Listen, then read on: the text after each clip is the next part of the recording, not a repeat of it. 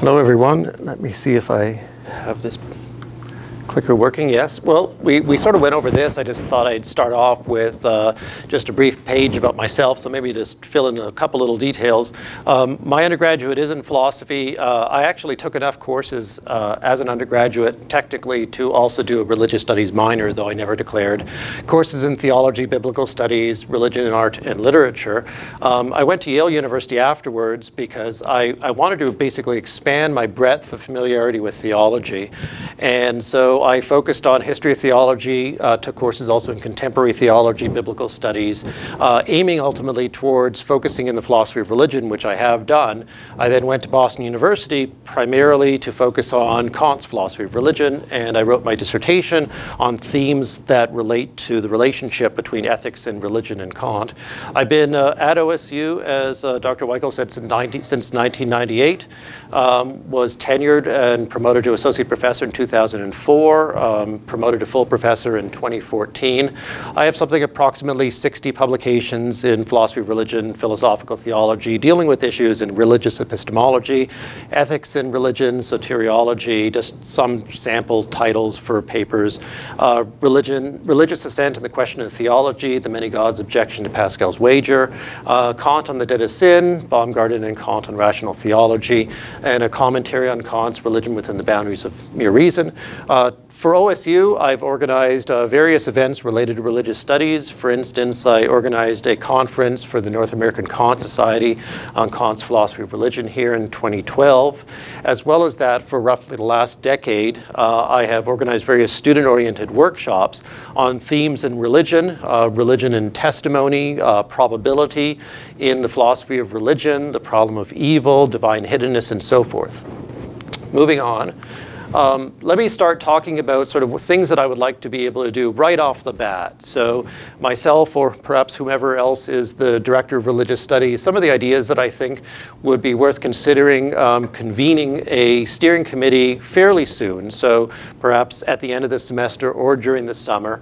And the steering committee I have in mind of something in the order of six faculty members as well as include um, a student, uh, perhaps a junior or a um, well, I guess it wouldn't be a senior since they'd be graduating, but perhaps a junior as a student representative for the steering committee. And faculty would be coming from philosophy, history, art and art history, English, social sciences, one or both of the new TAPs also on the steering committee. Um, some of the other things that I'd like to be able to start right away is ensure that the new TAPs and the existing TAPs working in religious studies have appropriate mentoring. Um, so uh, connect connect them with an individual mentor, a senior faculty member, and also I think something that can be neglected, which shouldn't be neglected, but something that I think that we don't often do enough is have peer observations of their teaching. So the incoming TAPs, as they get acquainted with uh, OSU faculty, provide, have them, um, have their mentor provide them with appropriate feedback as they're moving forward through the semester. Uh, right now, the Department of Philosophy, History Department, I imagine other departments as well, are working on workload policies for TAPs. So um, monitor that and hopefully do what we can to make sure that they're fairly, excuse me, fairly harmonious with one another. And then at least begin discussions about fundraising. And I'll get back to some issues of fundraising later. So those are some of the goals that I have right off the bat for the summer. And so now let me move on to the next academic year. First of all, I think really crucial to the success of a program is developing a community, a sense of community between students and faculty, and also a student community. And I, I have in mind as the um, advisor for the community, Matthew Pereira. I just thought that his character, his dynamism would be something that would be very well suited to being the advisor for the student organization. Obviously, that's up to him, but just somebody I thought would be a good person as an advisor.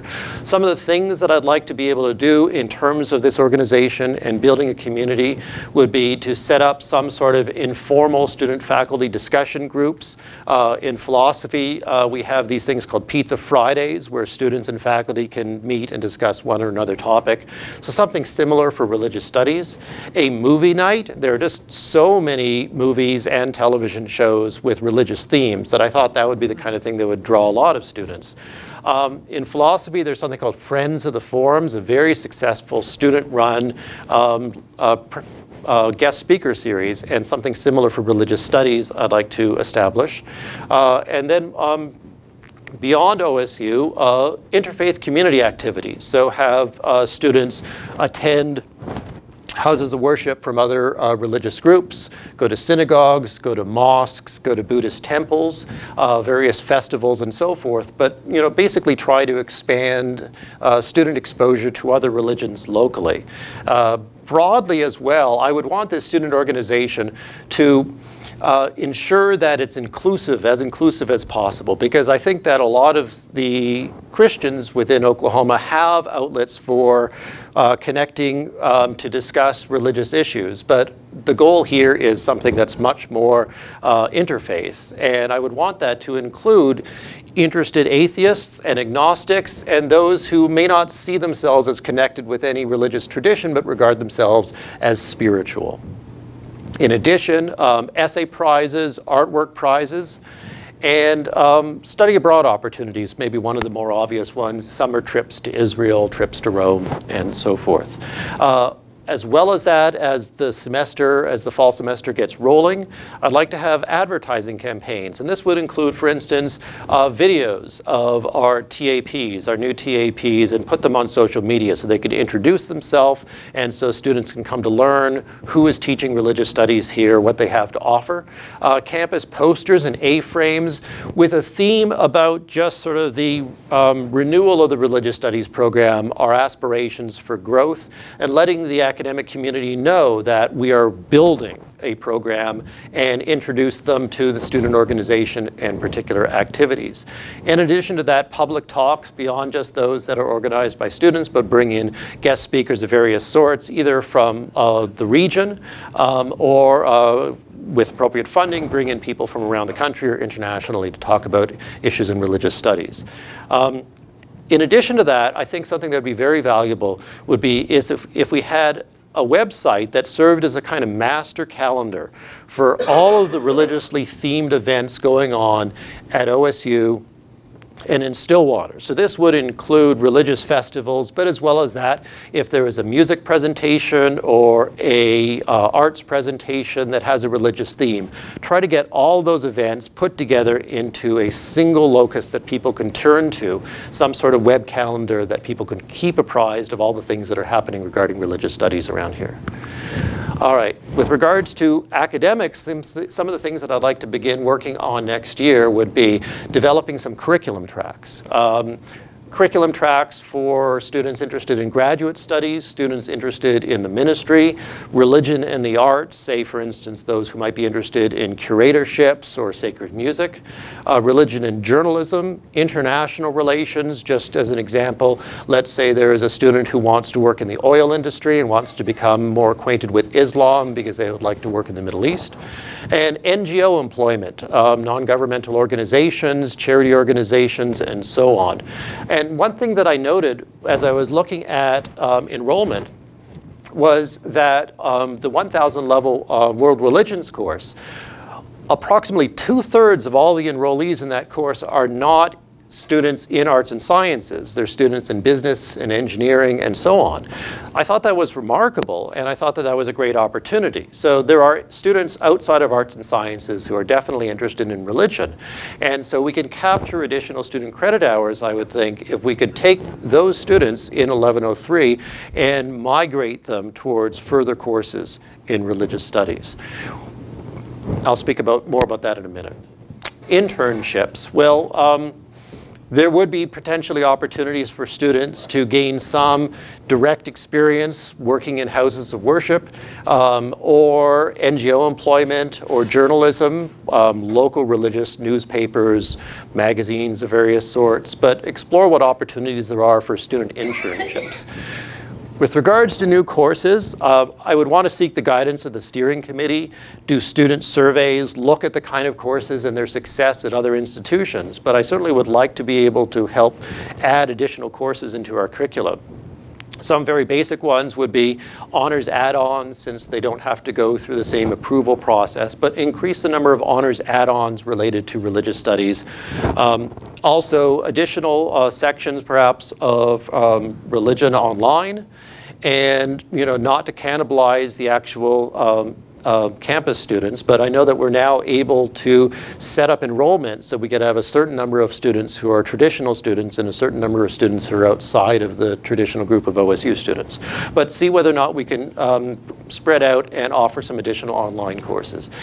Now, one of the things that I think would help really develop this course is to add some additional 2,000 level courses. And that could include the kinds of courses I think that students would probably think of as maybe a little bit more fun, a little bit more engaging. And so topics could include religion and the arts and literature, maybe religion, arts, literature, and film, religion and contemporary society, maybe a course on contemporary religious writings that could go from things like C.S. Lewis's Mere Christianity to contemporary Buddhist writings like Thich Nhat Hanh. And these sorts of 2000 level courses could be advertised in the sections of 1103, again, also as a way to hopefully capture some of those SCHs from students that are outside of arts and sciences. If we pursue this for the 2000 level, then I think it might make sense to move our existing 2000 level courses, the Hebrew Scripture and New Testament, to 3000 level. That's a discussion to have at some point. So those are some of the things that I'd like to really dig into and develop in the coming academic year. Now, beyond that, I, I, I, would like to see additional courses in theology offered. And we have a course called Classic Christian Writings at the 4,000 level. And I think perhaps we could turn it into a 3,000 level course and maybe rename it to something like From Augustine to Aquinas. And then have subsequent to that at the 3,000 or at the 4,000 level another theology course, um, something like From the Reformation to the 19th century. And then thirdly, a contemporary theology course, the 20th, 21st century. So Rudolf Otto and Paul Tillich and onwards. Additional courses, some of the additional 3,000 and 4,000 level courses I've had in mind. A course on Judaism, a course on religions of Asia, a course on indigenous religions throughout the world, science and religion, gender and religion, a course on theism and atheism. Perhaps it would be a course which explores the so-called new atheists and uh, theistic responses to it. Um, a course on religion and the social sciences, which could draw from political science, psychology, sociology, and so on. So the methodologies of the social sciences is applied to religion. A course on mysticism and non-traditional religions. A course on religious ethics. Now, of course, quite a few courses. We currently don't have the staffing for that, but as time goes on, hopefully, as we are able to add additional staff, some of these courses may be suitable to them. Well, regarding additional staff, some of my thoughts as to our, what our priorities would be are, are two new TAPs. Their focus is in New Testament and in early church. So we may not yet have somebody who's a specialist in the Hebrew Bible and so a hire in the Hebrew Bible and or in Judaism, a hire in comparative religions and or Eastern religions, uh, a hire potentially who's doing contemporary or systematic theology, somebody who similar to the course that I described, somebody who does religion from a social science standpoint and something related to gender studies, women and the Bible, courses related to issues of gender in other religions and so on.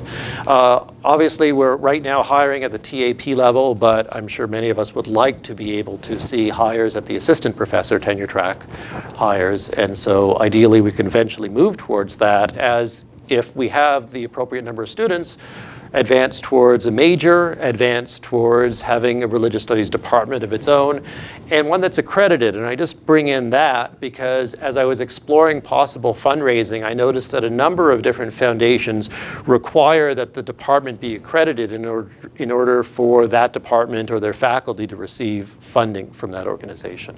Um, maybe uh, a center for the study of religion, given where we are regionally, I think that that might be something we could pursue, something that might be very interesting for us to do. And so, um, you know, with that, possible fundraising in terms of in-state support.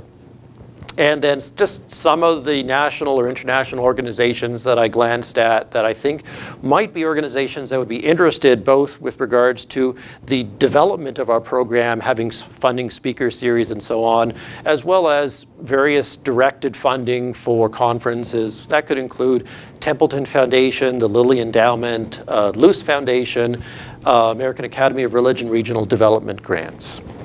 So um, these are my long-term goals. Obviously, many years ahead before we were able to move towards a department, but that's obviously, I think, what many of us aspire towards. So in summary, I think that sort of the three key things that I'm hoping to achieve, um, develop a program that really helps satisfy the intellectual curiosity of students, develop a program and organizations that really build an inclusive community, and also uh, a program that is very much growth oriented, that has plans that targets various uh, stages of growth and is able to work towards them. Thank you. Questions?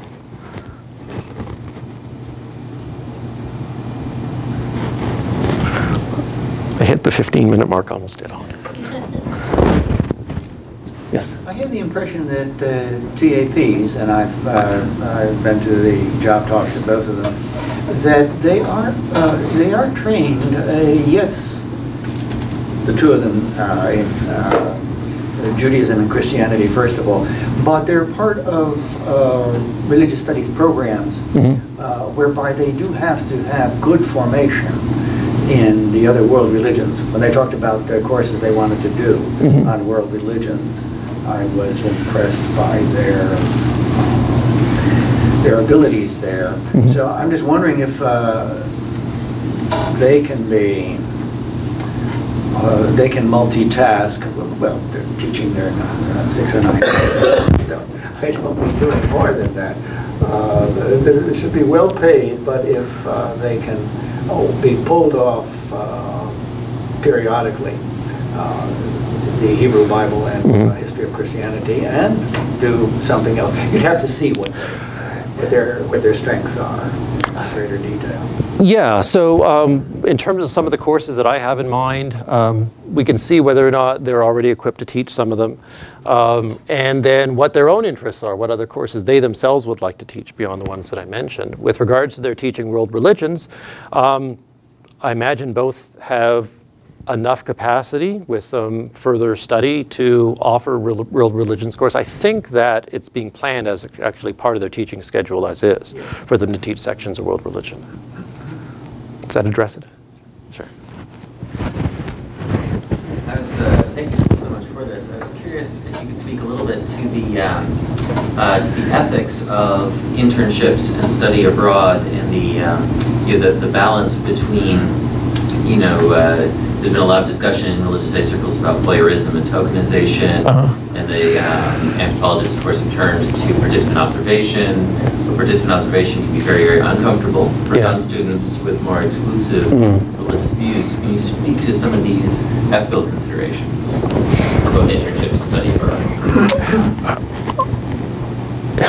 And even just local visits to other places of worship.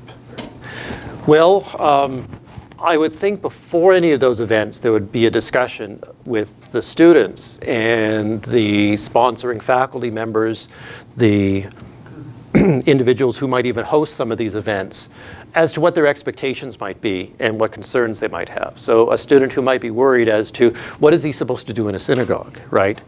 You know, is he supposed to stand when everybody stands? What if he doesn't believe this way? Is he supposed, what is he supposed to do?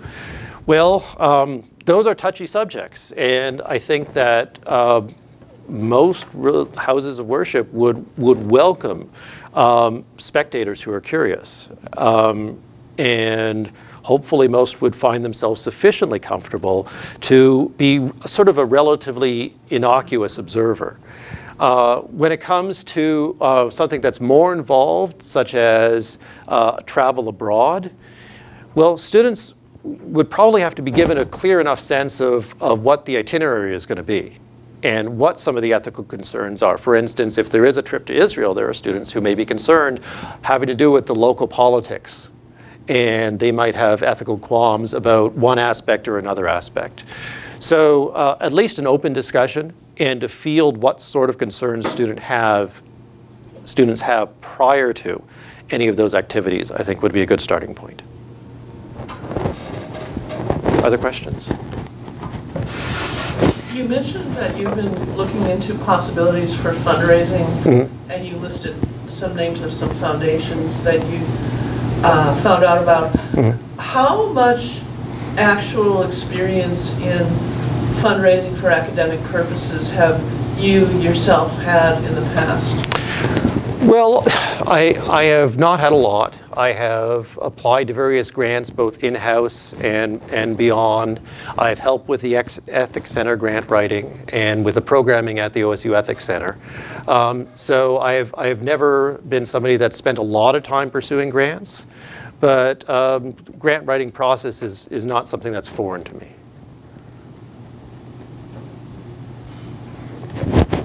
I have my own perspective on this, but I'm curious. Um, as a philosopher, what do you think a philosopher would bring to a director of religious studies?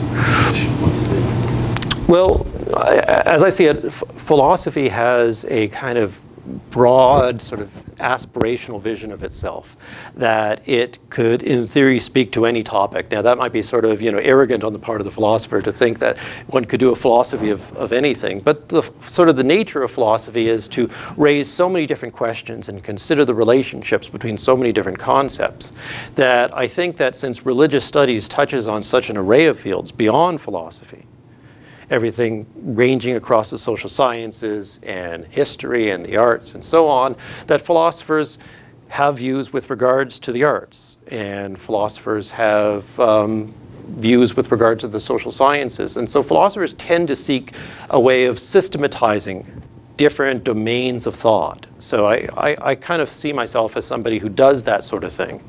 And so I would think that sort of I would have sort of a general openness and drive to think about the connections between all the different domains of inquiry that shape religious studies.